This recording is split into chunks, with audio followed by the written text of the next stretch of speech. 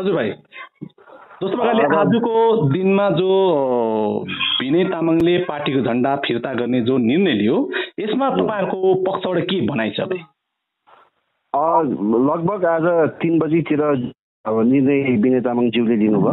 हजुर। र त्यो निर्णय लिँदा हामीले त्यो लाइभ प्रसारण हेरिरहेको थियौँ र त्यसमा उहाँले एउटा जुन यो झन्डा विषय चाहिँ उहाँले अध्यक्ष विमल गुरुङज्यूलाई नै उहाँ एउटा फाउन्डर मेम्बर भएको हैसियतले त्यो झन्डा चाहिँ मूल घरमै फर्किनुहुन्छ भने जुन उहाँले अब डिसिजन लिनुभयो त्यो विषय लिएर म स्वयं पनि एउटा पार्टीको तर्फबाट पनि र विगत त्यस्ता जिटिएका ब्लुङफिल्ड इसियाक समष्टिको पूर्व सभासद भएको हैसियतले विनय तामाङज्यू पनि ब्लुङफिल्ड इसियाको एउटा शाखाको एउटा वार्डको एउटा कार्यकर्ता भएको हैसियतले उहाँलाई आज जुन डिसिजन लिएकोमा उहाँलाई स्वागत जनाउनु गएको थिएँ हजुर। र म यति विनय दाजुकै बास स्ट्यान्डबाट टेलिफोनिक एउटा वार्ता गरेर आज विशेष त हाम्रो अध्यक्ष कालिम्पोङमा हुनुहुन्छ र भोलि कुन समयमा चाहिँ उहाँले झन्डा फर्काउने भन्दाखेरि विनय तामाङज्यूले एघार बजेर उन्नाइस मिनटमा जुन विगत हाम्रो पार्टीको जुन एउटा दुई हजार सात दिनकै देखाएको थियो एउटा साइटमा त्यो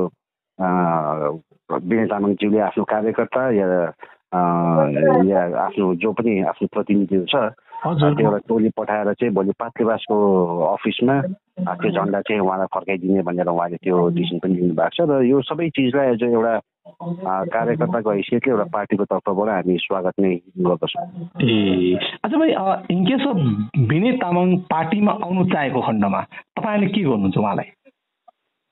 अब त्यो त उहाँको एउटा व्यक्तिगत डिसिसन पनि हुनसक्छ र अब एउटा जनमुक्ति मोर्चा एउटा ठुलो परिवार हो। हजुर। र यो अब एउटा केन्द्रीय स्तरको सब्जेक्ट हो र केन्द्रीय स्तरमा आज हामी युवा मोर्चाले यसको कतिवटा डिसिसन लिन नसकौँला। हजुर। र पार्टीको उच्च स्तरमा अग्रिम पन्थीमा भएको नेतृत्वहरूको बिचमा यदि त्यस्तो कुनै डिसिसन हुन्छ हुँदैन हामी भन्नु सक्दैनौँ। तर जे पनि डिसिसन हुन्छ त्यसलाई हामी युवा मोर्चाको तर्फबाट हामी स्वागतै गर्छौँ। अनि त्यो आज तपाईँ विनय तामाङको घरमा जानुभएको थियो र तपाईँ विनय तामाङसँग खोजी नै बातचित गर्नुभयो उहाँलाई खाना पनि दिनुभयो। अब यो विषयमाथि के कुराकानी भयो? उहाँलाई पार्टीमा स्वागत जनाउने के तपाईँहरूको पक्षबाट त्यस्तो केही कुरो भयो प्रस्ताव भयो? होइन मेरो व्यक्तिगत तर्फबाट त भएन। म त एउटा व्यक्तिगत तौरले पनि गएको थिएँ। हजुर। किनभने जे नै भने विनय तामाङज्यू आज ब्लुमफिल्ड स्याट भएन विगतको यो गोर्खा जनमुक्ति मोर्चालाई जब यो फ्याक्सनहरू भन्ने सत्रको अगाडि थिएन। हजुर। र त्यस त्यति बेला अग्रिम पन्थीमै बसेर उहाँले नेतृत्व गरेको र उहाँकै नेतृत्वमा हामी पनि एउटा कार्यकर्ता आज जुन विगतको गोर्खाल्यान्डको आन्दोलनमा हामी थियौँ।